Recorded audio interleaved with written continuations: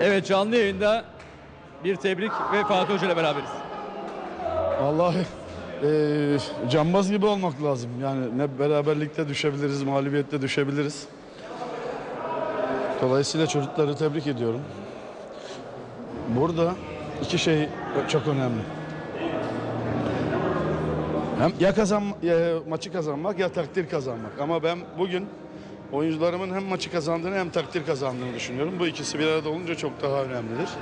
Çünkü inanıyorum ki ekranların başında seyredenler hop oturup hop kalktılar. Ee, 2-0'ı bulmak da amacımız maçtan önce. Yani daha rahat edelim. Oradan sonra çok farka gidebilirdik. Ama e, 1-0'da tabii tehlikeli sonuç. Bunun da sonuçlarına bazen katlanıyorsunuz. E, bu çocukların çoğu da bir- ilk 11'de yeni yeni buluşuyor. Ama güzel bir takım oldular. Bunlara emeği geçen, buralara getiren o bir arkadaşlarımıza sonsuz teşekkür ediyorum. Emekleri çok fazla. Biz sadece 10 gündür yardım ediyoruz ama güzel bir yoldalar. Ülkenin böyle bir galibiyete ihtiyacı vardı. Vallahi dört tane şey var işte nedir o final var. Bunun ikisini geçtik hatta mucize maçı var dört tane. İkisini geçtik çok şükür bu deplasmanda bir de rakibimiz. Şu anda bildiğim kadarıyla Romanya'yı geçmiş olmamız lazım avarajda. Allah'a şükürler olsun. Vallahi Allah da çalışana veriyor çalışanı. Yanında bu çocuklar da bugün çalıştılar 90 dakika. 5 tane 6 tane net gol kaçırdılar. Gol olabilecek aday pozisyonlar buldular. Son vuruşlarda belki son paslarda sonuçlandıramadık belki ama oyunu özellikle ilk yarı istediğimiz gibi oynadık. İkinci yarıda eee Umut'un o zamanında olan golü olsa Gökhan'ın yaptığı muhteşem hareket sonrası ancak sonuç olarak 3 puan 1-0'da 5-0'da hepsi de güzel. Ee, ne bilelim Allah yolumuzu açık etsin. Peki sakat oyuncularımız vardı, hasta oyuncularımız vardı. Gökhan Gönül ile Arda Turan bugün büyük bir özveriyle mücadele etti. Bunun için neler söyleyeceksiniz? Nasıl motive oldular bu maç? Arkadaşlar olaya bayrak girince, olay, olaya milli forma girince, olaya İstiklal Marşı girince, olaya Türkiye girince kimsenin öyle ufak tefek bahaneleri, sebepleri kalmamalı. Öyle bir şey olmamalı. Öyle bir takım bizi üzer. Öyle oyuncularla olamayız. Çok net ve açık. Ee, yani herkesin milli takıma faydalı olması lazım.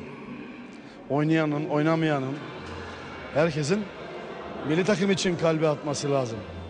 Milli takıma bu ülkenin formasına bu çocuklara zarar vermemek için herkesin imtina etmesi lazım. Hepsi onların bizim göz bebeğimiz. Dolayısıyla Arda ve Selçuk değil sadece. Gökhan Gönül'ünde var. Hepsinin var. O çocuklar ne bileyim o tek ağzını açmadı Gökhan Töre. Eee, hepsinin maşallahı var. Hepsine teşekkür ederim. Hepsini tebrik ediyorum. Ben onlara bunu söylemiştim. Düşünün bugün en gencimiz, ilk yenimiz Salih. Hocam 3-1 bitecek hiç merak etmeyin diyor maçtan önce. Dolayısıyla ben de ona bildin dedim iki fark olduğuna göre. Şu anda oynamayanlar antrenmana çıkacak. Biz aynı zamanda kulüplere de sorumluyuz. Yani kulüplerin oyuncularını da en sağlam şekilde en eee fiziği yerine gelmiş kaybetmeden eee, göndermek zorundayız. Dolayısıyla Allah'a şükür bu sınavı iyi atladık ama artık hiçbir şey bitmedi. Estonya her zaman bir biliyorsunuz enteresan bir deplasmandır. Ama ben işi Allah nasip ederse yani Fenerbahçe stadına Hollanda maçına kadar getireceğimiz inancını taşıyorum. Eğer iş öyle gelirse de o statta oradan artık geçen sefer 4'e 4 4 gol attık 4 yedik onunla gidemedik. Bir sürü de gol kaçırmıştık. Hatırlayın. Bu sefer inşallah orada gideriz. Hocam son olarak terlisiniz fazla tutmayacağım. Dünya Kupası şansımız bu maç öncesi ne noktadaydı? Şu anda ne noktada? Valla bizim hala çok şansımız yok. İki takım da iddialı. Yine biz en gerideyiz. Çünkü neden? Şu anda Romanya basit bir hesapla Andorra ve Estonya ile oynuyor. Biz Estonya deplasman, Hollanda içeri. Yani hala bizim daha eee, hiç böyle o ipten düşmeden devam etmemiz lazım. Yani pardon yok maalesef. Pardon diyecek bir durumumuz yok. Onun için yine biz çok iddialı olalım ama büyük konuşmadan çalışarak inşallah Ekim ayında o şeyi yakalayalım nedir o? Playoff. Destekleyen taraftarlara, Türk halkına mesajınız ne olacak? Türk halkına buradan çok teşekkür ediyorum. Niye ediyorum? Bize güvendikleri için. Zaten bir sürü problemimiz var. Bir de ondan dolayı çok seviniyorum. Hiç olmazsa 2 saat, 3 saat, 5 saat birçok e, herkes kendi problemini unutur. E, bu çocuklarla övünür. Milli takımımız şöyle kazandı. Ya acaba Brezilya'ya gidiyor musun bir konuşması olur. Biraz kendilerini dağıtırlar. Ondan dolayı sevmiştim. Hepsine arkamızda olan, dua eden herkese Allah razı olsun. Buradan selamlar, sevgiler. Çünkü milli takım şudur. Her takımın seyircisi vardır.